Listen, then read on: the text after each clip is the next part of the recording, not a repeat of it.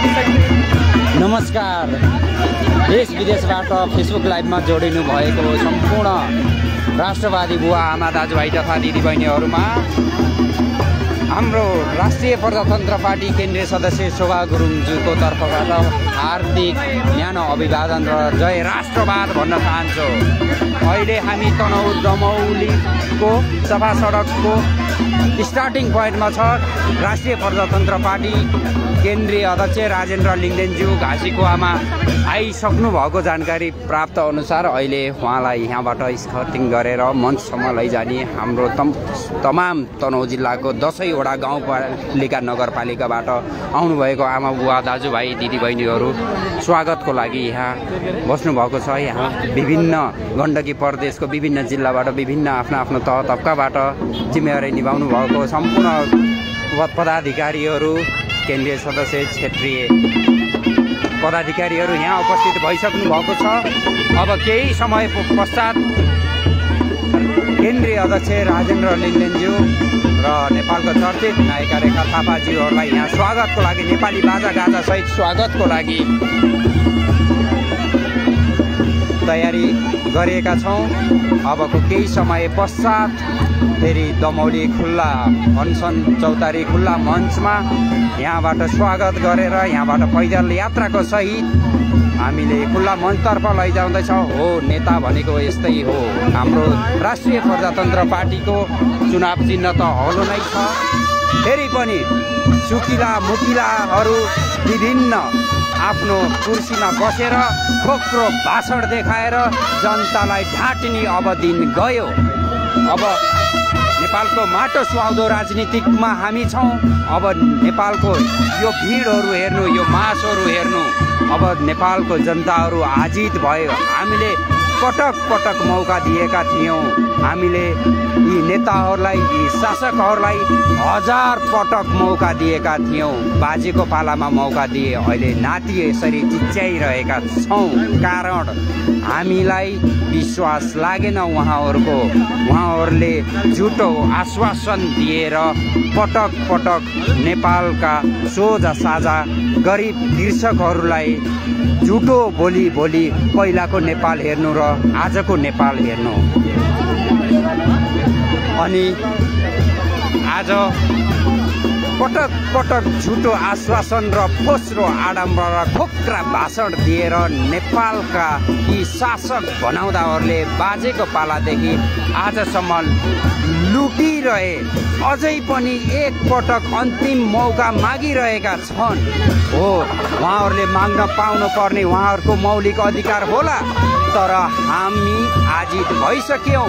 विश्वास गर्ने एक प्रतिशत पनि आधार नरहेको कारणले गर्दाखेरि आज आम तनहुँ जिल्लाको दसवटै गाउँपालिका नगरपालिकाको नागरिकहरू सत्तरी प्रतिशत हलो जोत्ने कृषकहरू आफ्नो खेतबारीको मेलाहरू छोडेर आज सर्दीय अध्यक्ष राष्ट्रिय प्रजातन्त्र पार्टीका सर्दीय अध्यक्ष राजेन्द्र लिङ्गदेनजीको स्वागतमा हामी यसरी सफा सडकमा उभिरहेका छौँ। अब पनि घैँचोमा घाम नलागे कहिले लाग्ने हामीले अन्तिम अपर्च्युनिटी लास्ट मौका त हामीले दिएकै थियौँ। तर पनि बुझिदिनु भएन सिर्फ सत्तामा भत्ता पचाएर कुर्सीमै लिप्त यी शासकहरूको पटक पटक जनतालाई झुटो बोलेर गरिब गरिब कृषकहरूको भावनामाथि बद्दा मजाक गरिदिएको पराकाष्ठ वैशाख तिस गते चुनावले दिन्छ। जनताको सबैभन्दा ठुलो शस्त्र भन्ने कि अस्त्र भन्ने यही मत हो। अनि यही मतको प्रयोग गरेर हामीमा कुनै त्यस्तो शस्त्र छैन हामीमा कुनै त्यस्तो अस्त्र छैन। जनताको अधिकार भनेको यी नेताहरूलाई कुर्सीमा राख्ने या कुर्सीबाट मिल्काएर रोडमा फाल्ने। हामीसँग एउटै हो वैशाख तिस।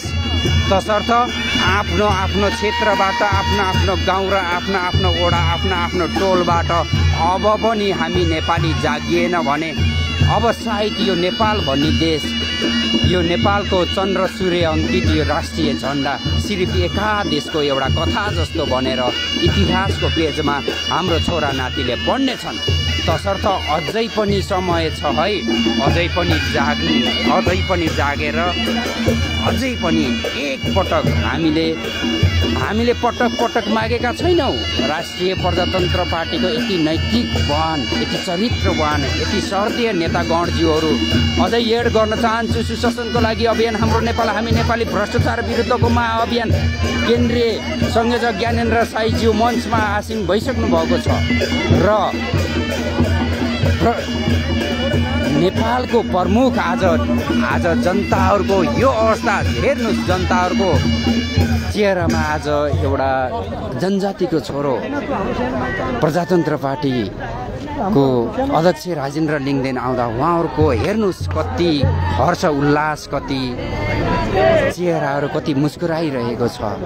र हेर्नुहोस् देशको अवस्था हेर्नुहोस् आज ती विदेशिएका साठी सत्तरी लाख नेपालीहरूको जेलमा सहनुको पीडा हेर्नुहोस् कतिपय निर्दोष नेपाली दाजुभाइहरू आफ्नै नेपालभित्रै यो यो शासकहरूको यो पार्टी विभिन्न थरी थरीका दल र विभिन्न जनप्रतिनिधिहरूको ठोस र दम्बको रूपमै कतिपय निर्दोष नागरिकहरू राजनीतिक चपेटामा परेर जेलमा परेका छन्। उनीहरूको लागि कसले बोलिदिने कसले औँला खडा गरिदिने? तसर्थ अब पनि हामी नजागे। यो नेपाल सिर्फ इतिहासमा मात्र सुन्न पाइन्छ। तसर्थ हामीलाई अन्तिम पटक मौका छ। हामीले अरू दलहरूले जस्तो अरू पाँच वर्ष अरू पाँच वर्ष हामी पाँच छचोटि हाम्रो पार्टीको अध्यक्ष प्रधानमन्त्री बन्नै पर्छ तब नेपाल विकास हुन्छ भन्न खोजेका छैनौँ। हामीलाई सिर्फ एक पटक प्रथम अनि अन्तिम पटक मौका दिनुहोस् वैशाख तिसमा। अनि भएन भने तपाईँहरूले भन्न पर्दैन यदि हाम्रै पार्टीको अध्यक्षले अबको पाँच वर्षपछि पनि यदि उहाँ प्रधान सर्देय अध्यक्ष राजेन्द्र लिङ्गदेनज्यू प्रधानमन्त्री बनिदिनु भयो भने अबको पाँच वर्षपछि पनि फेरि एकपटक मौका माग्नु भयो भने तपाईँहरूले कालो मोसो दल्न पर्दैन। विष्णु भक्त खनाल आफै कालो मोसो दलेर रोडमा हिँड्नेछ र विरोध गर्नेछ। तसर्थ एकपटक विश्वास गरिदिनुहोस्। हामी अहिले यहाँ सफा सडकमा हामी सर्दिया राजेन्द्र लिङ्गदेनज्यूको हामी प्रतीक्षामा छौँ। अबको केही समयपछि आउनुहुन्छ।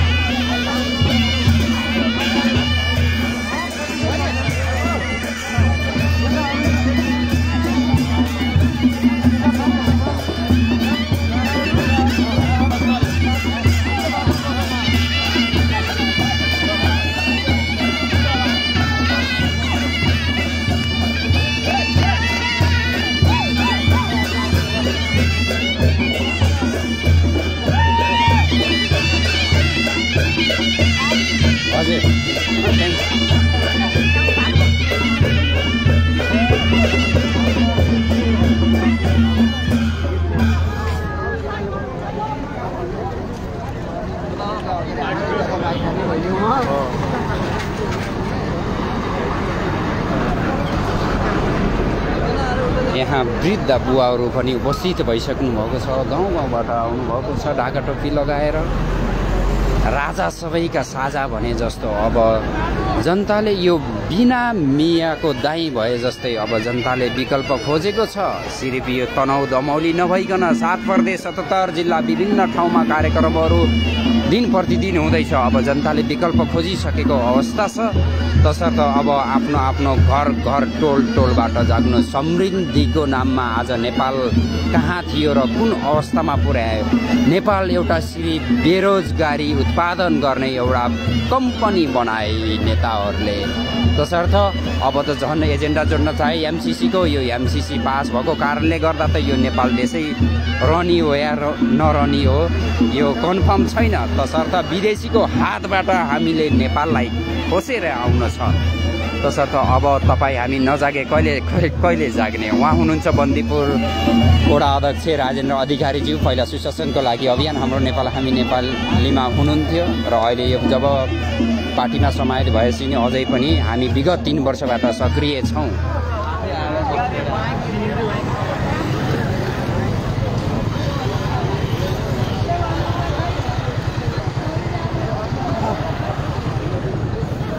र देश विदेशबाट जति पनि साथी जति पनि बुवामा दाजुभाइ दिदीबहिनीहरूले राष्ट्रवादी जति पनि नेपाल राष्ट्रप्रति माया गर्नुहुन्छ उहाँहरूले हेर्नुभएको छ सक्दो सेयर गरिदिनु तपाईँ मात्र हेरेर भएन। सम्पूर्ण नेपाली संसारभरि छरेर रहनुभएको सम्पूर्ण नेपाली बिच यो भिडियो पुर्याइदिनु होला। जति विदेशमा रहने नेपालीलाई जति देशभक्ति जति यो नेपालप्रतिको माया हुन्छ सायद म पनि पहिला सत्र वर्ष इन्डियन आर्मीमा सर्भिस थिएँ त्यसपछि म पनि दुई वर्षमा विदेश गएँ खाडी गएँ। जब विदेशमा हुँदाखेरि आफ्नो देशको आफ्नो गाउँको आफ्नो घरको आफ्नो पाहा आफ्नो पकेराको यति धेरै माया हुनु रहेछ भन्ने चिज मैले अनुभव गरेको छु। यस्तै गरेर सायद यति चिन्ता छैन होला। आज नेपालमा कहाँ के हुँदैछ नेपालीलाई फुर्सदै छैन। तर विदेशमा हुनेलाई आज मेरो जिल्लामा के हुँदैछ मेरो गाउँमा के हुँदैछ मेरो टोलमा के हुँदैछ मेरो देशको राजनीति कस्तो हुँदैछ मेरो देशमा कुन नेताले नेपाली यति हामी यति भावुक मनको हुन्छ नि? हामी यति दयालु मनको संसारभरिको दयालु हामी भावुक भनेको हामी नेपाली जनताहरू हौँ।